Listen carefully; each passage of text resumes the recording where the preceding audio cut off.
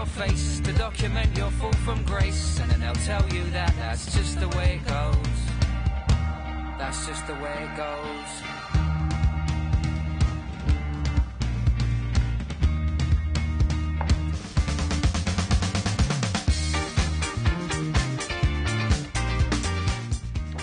La signora in rosso di stasera, Luisella Costamagna. E buonasera a tutti, benvenuti in onda da Luca Telese.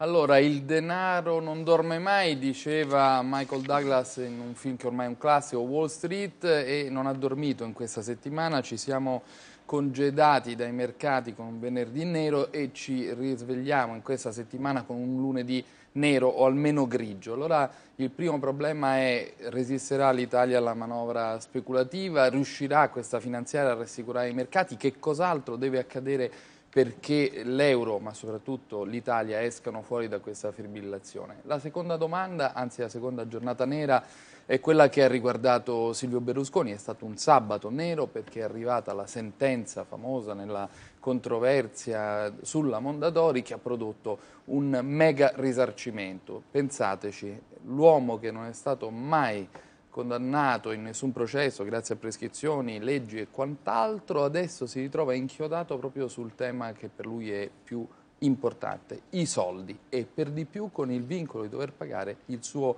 acerrimo rivale, l'ingegner Benedetti. Allora questa sera per parlare di questo denaro che cambia e incide anche le nostre vite abbiamo un parterre d'eccezione perché una coppia di politici che forse presumibilmente discuteranno amabilmente, Daniela Santacchè, sottosegretario del governo Berlusconi, buonasera in collegamento Buonasera. Buonasera. E poi Marco Follini che è un senatore del Partito Democratico ma già una lunga carriera di leader dell'UDC.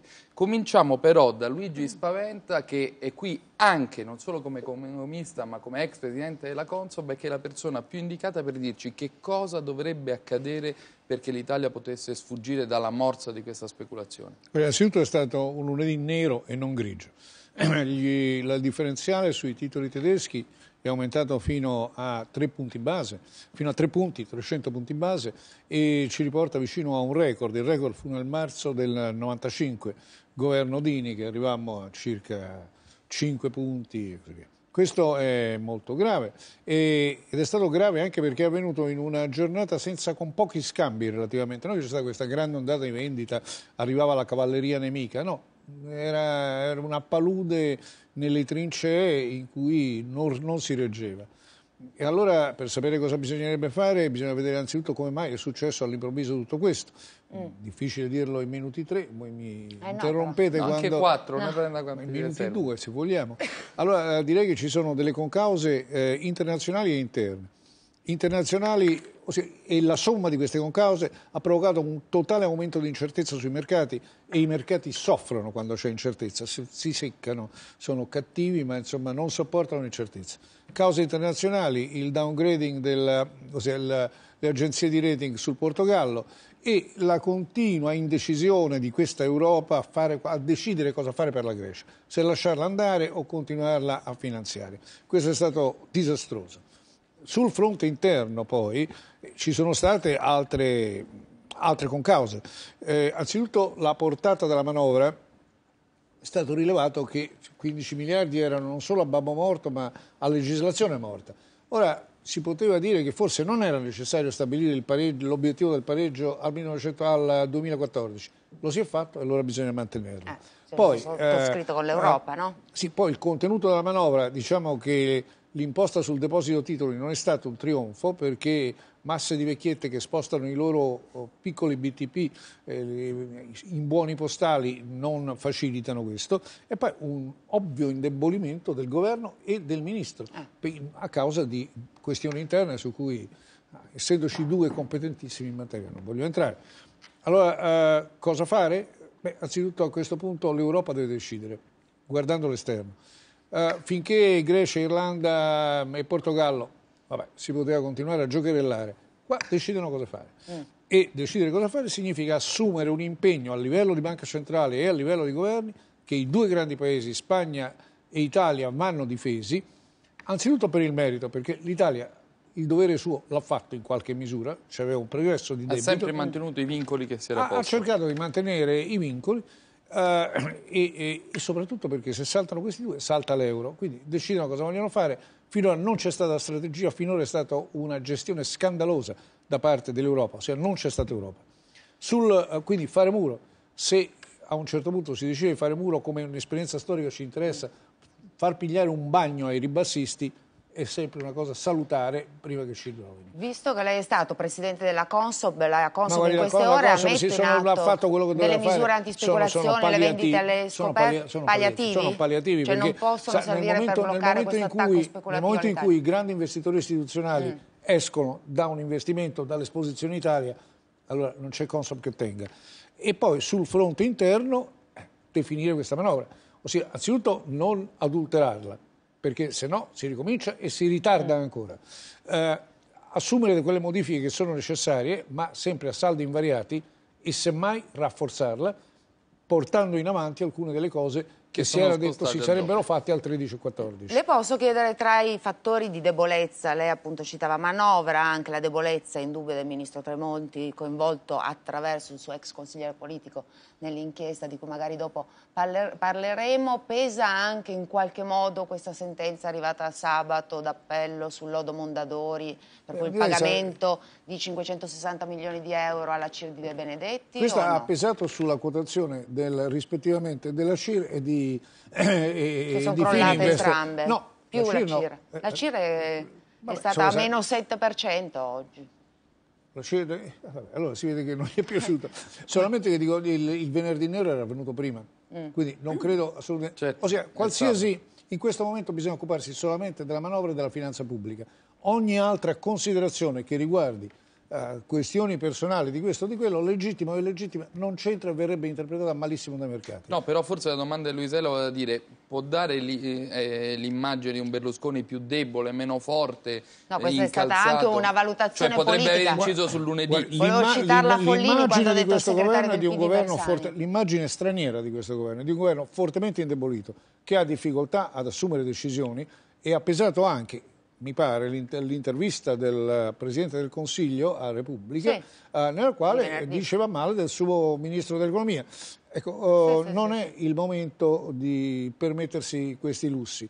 Si risolvono le loro questioni dietro il convento delle Carmelitane Scalze alle 5 di mattina e poi si passa a lavorare. No, facevo riferimento a quanto diceva Bersani Duelli. prima di sentire il sottosegretario Santanchè, perché a proposito proprio della sentenza d'appello sul lodo Mondadori, Bersani ha detto i mercati la valuteranno come va valutato, ovvero un caso di corruzione individuato, conclamato e punito, il mondo non ci vedrà complotti, ma l'Italia non ci farà una bella figura nell'avere Berlusconi come testimonial. Lei è d'accordo con le parole di Bersani? E cosa pensa appunto degli elementi di No, sono- vulnerabilità che ha identificato il professor Spaventa? No, no, sono, con Bersani sono d'accordo per, eh, per definizione, Per- ah, certo. però credo che sia un buon costume quello di non commentare le sentenze, quindi mi fermo qui. Piuttosto aderisco al lodo spaventa, cioè penso che il tema della manovra sia cruciale, penso che l'opposizione debba esercitare tutta la sua responsabilità, questo significa concentrarci su pochi emendamenti, eh, non attuare nessuna pratica dilatoria, tantomeno ostruzionistica, e tenere fermi i saldi. L'obiettivo del pareggio di bilancio nel 2014 è di tutti, è nostro particolarmente. Forse fa parte della serietà della manovra anticipare una parte dell'impatto sui primi anni, perché qui c'è stata con una qualche disinvoltura. Eh, una antica prassi di scivolamento sugli anni più lontani delle- dei, dei passaggi più mezzo, difficili, mezzo, ma credo che l'opposizione debba dare un grande contributo nel segno di quella coesione che chiede il capo dello Stato. Infatti oggi avete ra- raggiunto un accordo PD, Italia dei Valori, UDC proprio per eh, approvare in tempi anche brevi la manovra economica senza grandi modifiche, ma sentiamo allora sottosegretario Santanchè quanto secondo lei è preoccupante in questo momento la situazione per il nostro paese anche secondo lei appunto ci sono questi elementi di vulnerabilità, di debolezza appunto dal Ministro Tremonti, la necessità di approvare in tempi brevi la manovra economica. Ma guardi, io sono molto d'accordo con quello che ho sentito dire sinora dal dottor Spaventa, perché credo che non dovremmo preoccuparci della forza o della debolezza di Berlusconi, della sentenza o di quant'altro. Ci dobbiamo occupare moltissimo invece della manovra e occuparci dell'Europa perché sin quando parliamo dell'Irlanda, del Portogallo, che non, certamente non hanno il peso dell'Italia o della Spagna, Parliamo di un problema certo ma con dimensioni completamente diverse. Quando parliamo della Spagna e dell'Italia che rappresentano il terzo posto per quanto riguarda l'Italia, il quinto della Spagna in termini di PIL dell'Europa, si evince che l'Europa è ferma, che l'Europa non ha deciso, che questa Europa è un pachiderma che è molto cresciuto nell'immaginario collettivo, che si fa sempre eh, riferimento all'Unione Europea ma che non prende delle decisioni, che i tempi delle decisioni sono molto molto lenti, perché qua non è più il problema dell'Italia. Bene ha fatto a ricordare il dottor Spaventa il differenziale con i titoli tedeschi, ma credo che sia un problema che impatta molto di più sull'euro e su quello che saranno, voglio dire, le vicissitudini che accompagnano l'euro. Quindi siccome sappiamo che la politica economica nella maggior parte dei casi è sovranazionale, cioè non è solo quello che decide l'Italia, perché la politica economica ormai è sovranazionale agli Stati, ci vuole una politica comune, che questa politica comune sia veloce, rapida, rapida nelle decisioni e che si vada avanti su questa linea. Per quanto riguarda poi la manovra, io credo che in variazione dei saldi, eh, la manovra Tremonti che cosa dice? Fissa i saldi e l'entità della manovra, quest, questo è il perimetro, è la cornice. All'interno dobbiamo portare quelle variazioni, quei cambiamenti, emendare questa finanziaria al Senato per far sì che possa dare migliori risultati e credo anche con il confronto con l'opposizione, perché l'opposizione deve dare il proprio contributo, deve poter fare opposizione, ma un'opposizione costruttiva. E credo Apprezzate che ci siano la disponibilità in questo momento delle forze d'opposizione ad approvarla senza troppe modifiche in tempi rapidi? La Ma guardi, l'ha detto, non lo dico io, l'ha detto il Presidente del Consiglio di fare questo tavolo con l'opposizione, di ascoltare cosa che l'opposizione ha da dire in termini di come ci dice, eh, secondo la sua visione, il suo parere, come poter emendare al Senato questa finanziaria.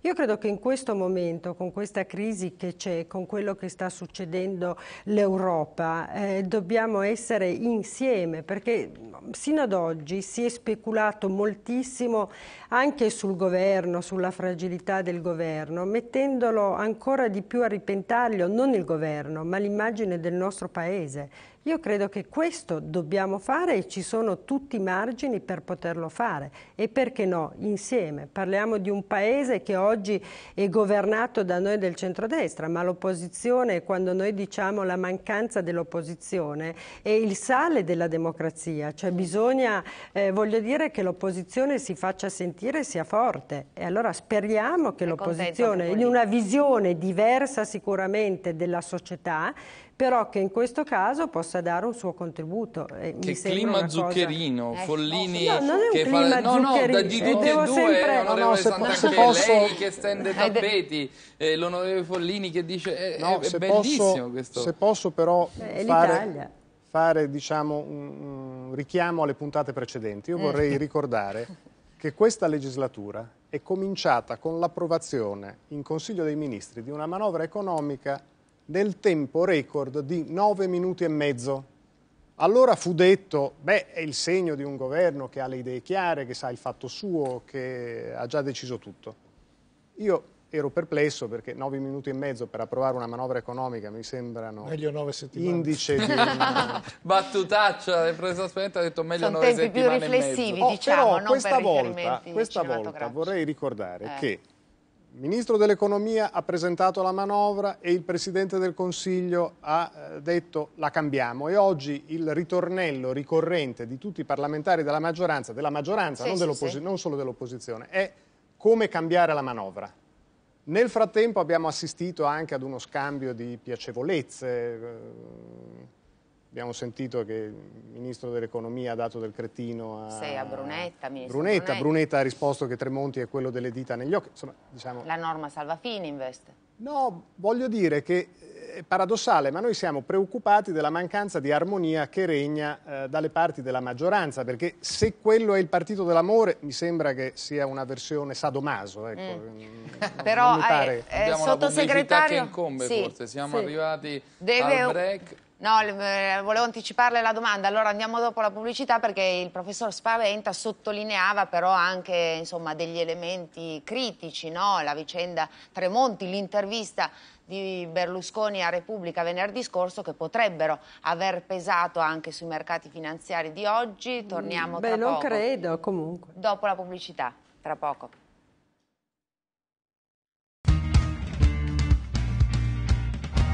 That's just the way it goes.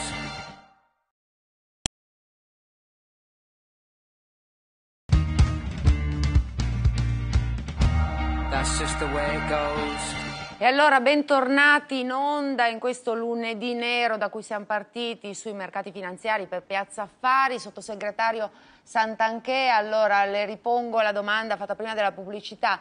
Eh, quanto hanno pesato, le diceva anche l'Europa, è necessaria un'approvazione in tempi brevi in collaborazione con l'opposizione della manovra economica, ma quanto hanno pesato l'indubbia anche offuscamento dell'immagine del Ministro dell'Economia Tremonti per il coinvolgimento indiretto in questa inchiesta sulla cosiddetta P4 e anche l'intervista di venerdì del Presidente del Consiglio Berlusconi prima della sentenza sul lodo Mondadori in cui parlava di Tremonti come di uno che si crede un genio mentre tutti gli altri sono dei cretini che non fa gioco di squadra, anche questo, ci diceva il professor Spaventa, può aver spaventato i mercati? Ma guardi, io credo che a Tremonti dovremmo essere tutti concordi nel riconoscerle un grande lavoro che ha fatto, perché se oggi, voglio dire, i conti sono sicuramente più in ordine, lo dobbiamo alle politiche economiche del Ministro Tremonti, per cui oggi dire che è indebolito per una questione che non riguarda lui e che riguarda l'onorevole Milanese mi sembra non soltanto ingeneroso, ma sicuramente non stiamo facendo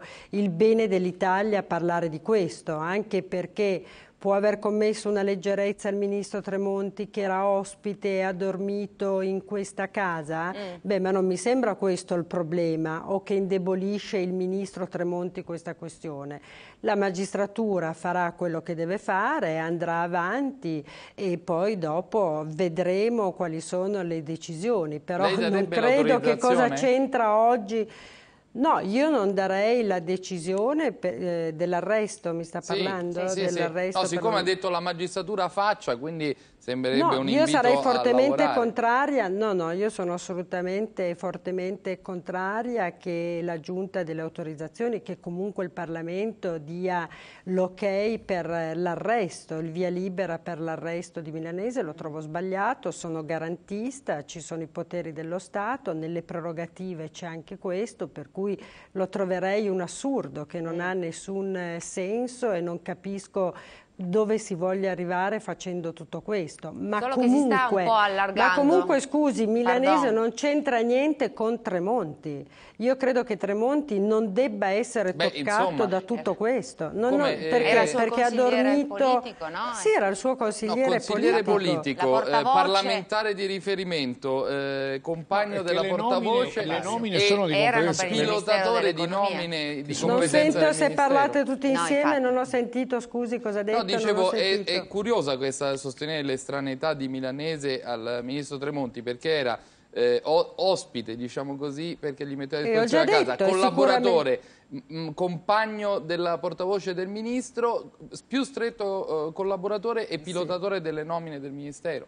Certo, però voglio dire, un conto possiamo fare dei ragionamenti su un gossip. A oggi mi sembra che il ministro Tremonti in mm. tutta questa vicenda c'entri per il semplice fatto che era ospite di questa casa e ci andava a dormire, non so se una sera alla settimana, due tutte le settimane, una settimana ogni tanto, non cambia. Sì. Che il ministro Tremonti abbia commesso una leggerezza in tal senso, io non sono qua a difendere questa leggerezza, perché lo trovo eh, sbagliato nel senso che non è, come dire, non è fair, non è giusto, il ministro Tremonti avrebbe dovuto dormire sicuramente in un'altra casa, ma di qua a dire che si si è indebolito, che è più debole, che è più fragile, come se avesse commesso chissà quale reato, non mi sembra che stiamo parlando di reati per quanto riguarda il ministro sì. Tremondi. Comunque e per cui sono... oggi non è che voglio dire dobbiamo crocifiggere il ministro Tremonti su quale reato? Qual è il reato che ha commesso? No, no, io ero partita tra l'altro dall'intervista al Presidente del Consiglio, dei... per cui a parlarne relativamente male anche della manovra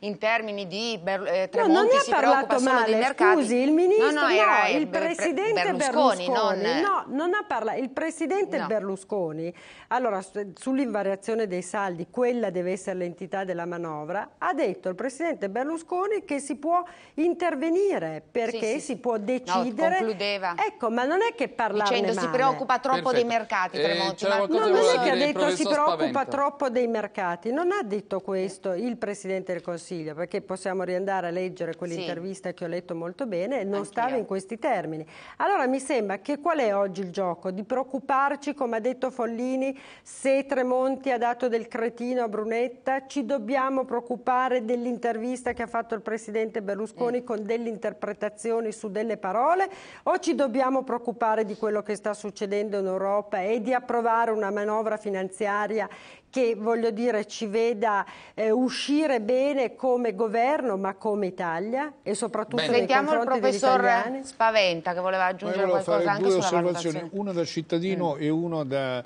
qualche contatto con i mercati. Da cittadino voglio dire che è del tutto irrilevante dove dorma il ministro Tremonti, che può dormire assolutamente dove gli pare. Quello che forse è più eccepibile è che nomine di competenza del ministro del Tesoro in enti pubblici ove il Ministero del Tesoro è azionista siano affidate all'onorevole milanese e ancora questo passi, siano oggetto di spartizione politica e passi perché ci siamo abituati, però sono stati oggetto di mercimonio, cioè di scambio, per cui il milanese ha avuto soldi o, o, regali. o regali. in cambio delle sono nomine che erano di competenza del Ministero del Tesoro, quindi qua è una cosa un po' diversa. Per quanto riguarda poi la reazione dei mercati, ecco, noi ce ne possiamo preoccupare o non preoccupare. Eh, però io devo dire che finora eh, il ministro Tremonti è stato ben considerato dai mercati e in Europa. Questo non v'è dubbio. Leggere allora eh, una continuazione di dichiarazioni di, diciamo, di poca fiducia mm. da parte del Presidente del Consiglio, da parte del resto del Governo nei confronti del Ministro dell'Economia, ecco, queste cose non sono state apprezzate. Basta d'altra parte eh, leggere in questi giorni la stampa straniera, che non è che parla degli scandali o dei non scandali, però mette uh, il dito sulla incertezza politica che si è determinata. Posso chiederle una cosa prima di passare la parola a Follini? Quando lei dice la Banca Centrale Europea in soldoni dovrebbe comprare titoli italiani e forse anche spagnoli per dare un segnale ai mercati, non è una manovra che non è mai stata fatta dalla Banca Centrale, dalla banca centrale dell'Euro? da banca centrale è stata fatta. L'ha fatta no, no, dico, Federal Reserve, l'ha fatta la Banca d'Inghilterra. Anche la Banca d'Italia in, in, in, ma in, prima dell'euro. La, uh, la, Banca Europea l'ha fatta timidamente nel programma di acquisto di titoli nei confronti dei titoli dei paesi periferici minori. A questo punto, se si vuole salvare l'euro, si deve dare una disponibilità poi probabilmente non è neppure necessario farli questi acquisti, ma una dichiarazione in cui si dice noi siamo qua mm. per difendere da eventuali attacchi speculativi che non siano giustificati e io francamente ritengo che l'attacco verso l'Italia non sia giustificato da elementi Fattori. di base. Il solo fattore veramente negativo dell'Italia sono 15 anni di non crescita. Anche perché se il Paese continua a non crescere, ogni manovra di aggiustamento ci costa il doppio. Allora, eh, Follini, una valutazione però anche su questa vicenda Tremonti, al di là delle accuse pesanti che vengono rivolte nei confronti di Marco Milanese, secondo lei, il Ministro Tremonti, alcune cose in realtà non per ragioni giudiziarie ma per ragioni di opportunità politica, lei dovrebbe spiegare, cioè il fatto che a dicembre è stato interrogato dai magistrati di Napoli, quindi è venuto a conoscenza delle accuse nei confronti del suo braccio destro e nonostante questo l'abbia mantenuto al suo posto. Lei la fa, vicenda della fa casa... una domanda che contiene già la risposta risposta. La vicenda non, della sta... casa la scandalizza, il ma fatto che l'abbia voglio... tenuta fino alla settimana ma scorsa? Posso, posso no? dire, io non voglio infierire su un caso particolare né perdermi nella somma dei casi di cui le cronache parlano in questi giorni. Io vorrei andare all'osso del problema, che secondo me sta in questo. Da 15 anni a questa parte, nella politica italiana è invalsa l'idea che si vince e si governa dividendo, lacerando, spargendo sale su tutte le ferite. E contemporaneamente l'idea che non c'è un confine rigoroso tra l'interesse pubblico e l'interesse di parte. Questi sono i due presupposti fondamentali. Ora, naturalmente, io quando faccio questo ragionamento ho in mente nomi e cognomi, ne ho uno in particolare, mm. però onestà vuole che si riconosca che è un costume che si è diffuso.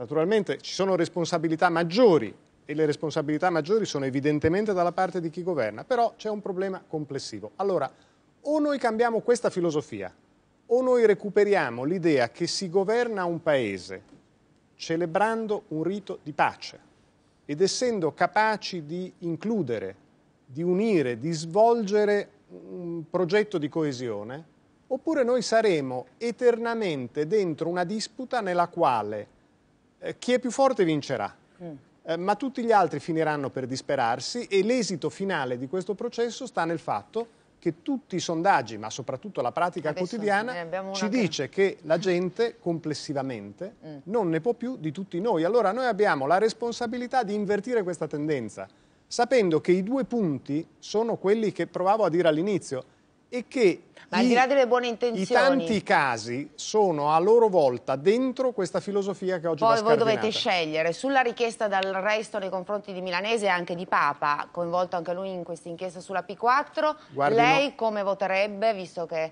e come voterà, visto che sarà chiamato a votare Votano i, e so, votano i deputati e io sono al eh, Senato. Esatto. Non ho letto le carte, per quello che ho visto voterei a favore dell'arresto. Ah, Onorevole ecco. Sant'Anché, prima di sentire il sondaggio che Luisella ha pronto da illustrare, eh, questa emergenza che si è creata rende impossibile l'idea di aprire la finanziaria e inserire una nuova norma che possa toccare la sentenza Mondadori oppure voi siete ancora dell'avviso che si possa fare qualcosa, perché sono arrivati dei messaggi contraddittori, la norma è stata ritirata, ma si è anche detto, penso a Gasparri, quindi il capogruppo al Senato del PDL, che in fondo una nuova norma in tal senso era possibile che fosse inserita. Guardi, io quella norma la difendo assolutamente perché la trovavo e la trovo sacrosanta. È stata sbagliata la comunicazione di quella norma, o meglio, il non averlo fatto perché credo e ripeto sia un principio sacrosanto, perché